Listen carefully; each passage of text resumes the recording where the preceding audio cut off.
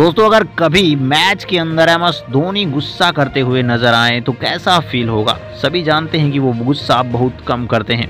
और अगर उसी प्रकार से हम कह सकते हैं कि वुमेन्स क्रिकेट टीम के अंदर हरमनप्रीत कौर का नेचर है। कूल कप्तान वो भी हैं।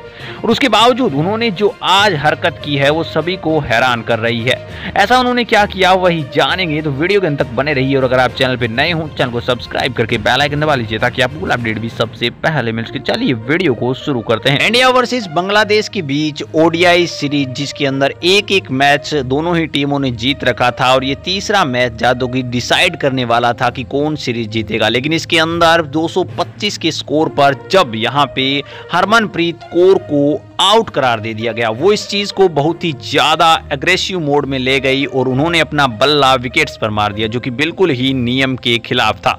और ऐसा देखकर जब अंपायर्स उन्हें कुछ कहने लगे तो वो अंपायर्स के ऊपर भी चढ़ गई और शायद उनको उनका जो फैसला था, वो गलत लगा। इस चीज़ को देखकर अब यहाँ पे हरमनप्रीत कौर को बहुत ज़्यादा वायरल किया जा रहा है। कहीं ना कहीं अब उनको जुर्माना भी देना पड़ेगा, लेकिन बात जुर्माने की नहीं है। बात यह है कि इतना अनुभवी और इतनी इतनी कुलेस्ट कप्तान, इतनी ज़्यादा नाराज़ कैसे हुई? आखिर गलती किसकी थी? अपने विचार कमेंट सेक्शन में ज़रूर लिखिए।